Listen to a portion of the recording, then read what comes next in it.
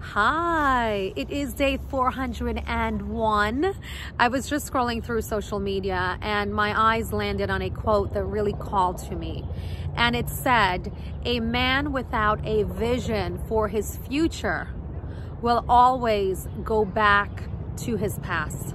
And I totally agree with that. And I think that is why it is so vitally important for us to have goals, to have goals written down, to have aspirations for our future, to have a life vision.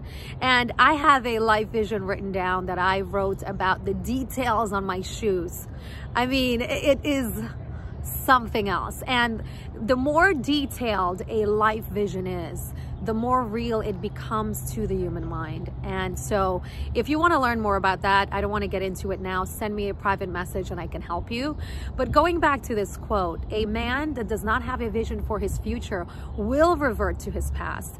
And the past does not exist. The past no longer exists. The past is the past.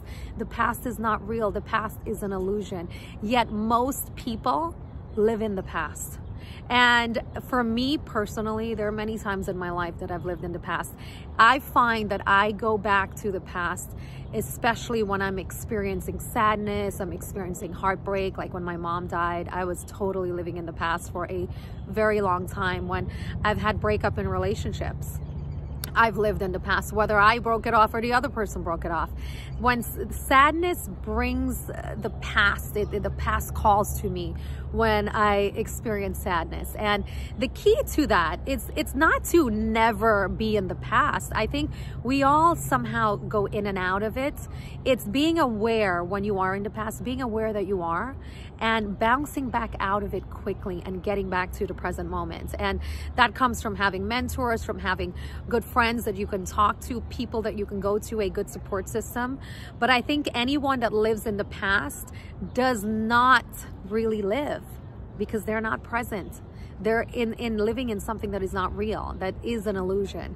So anyone that is living in the past is not experiencing their fullest expression of life and why they're here on this planet and experiencing the joy and all of the things that we are here to enjoy if we are present to it. So the reason I'm sharing this with you is is to remind you that having goals are so important. I talk about this a lot. This is something I can help you with also because I actually have written a course on goal setting. So it is vitally important to have goals, to have aspirations, to have things to look forward to. And and goals not just goals, but goals that excite you, goals that make you want to go out there and take massive inspired action, not goals that have you creep along and, and, and get sidetracked over and over. Goals that really make you want to go out there and get it.